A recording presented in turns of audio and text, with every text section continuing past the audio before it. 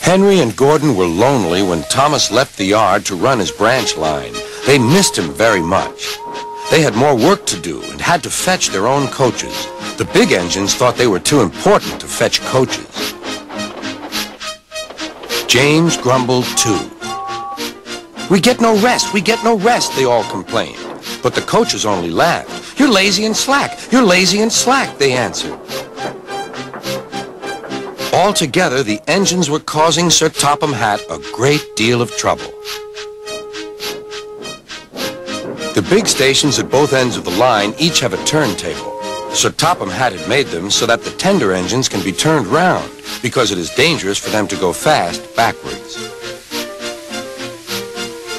Little tank engines like Thomas don't need turntables. They can go just as well backwards as forwards. But to hear Gordon talk, you would have thought that Sir Topham Hatt had given him a tender just to show how important he was.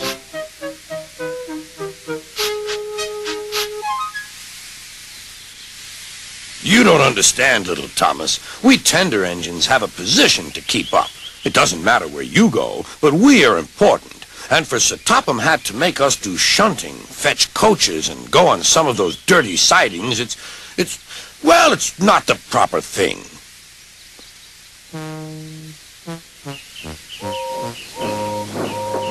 Thomas chuckled and went off with Annie and Clarabelle. Disgraceful, Gordon hissed as he ran backwards to the turntable. The turntable was in a windy place close to the sea, and if he was not on it just right, he put it out of balance and made it difficult to turn. Today, Gordon was in a bad temper, and the wind was blowing fiercely. His driver tried to make him stop in the right place, but Gordon wasn't trying. The fireman tried to turn the handle, but Gordon's weight and the strong wind prevented him. It's no good, they said at last. Your big tender upsets the balance. If you were a little tank engine, you'd be all right. Now you'll have to pull the next train backwards. Look, called some boys. There's a new tank engine. Oh, it's only Gordon back to front. Hello, called Thomas. Playing tank engines? Sensible engine. Take my advice. Scrap your tender and have a nice bunker. Gordon said nothing. Even James laughed when he saw him. Take care, hissed Gordon. You might stick too. No fear, chuckled James. I'm not so fat as you. I mustn't stick, thought James. He stopped on just the right place to balance the table. It could now swing easily. Gordon arrived in time to see everything. James turned much too easily. The wind puffed him round like a top.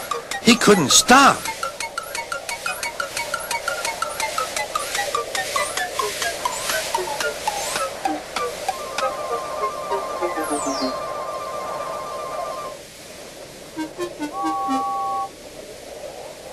Well, well, said Gordon. Are you playing roundabouts? Poor James, feeling quite giddy, rolled off to the shed without a word.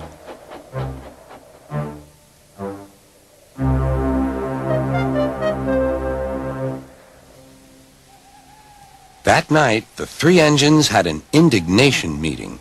It's shameful to treat tender engines like this. Gordon has to go backwards, and people think he's a tank engine. James spins round like a top, and everyone laughs at us.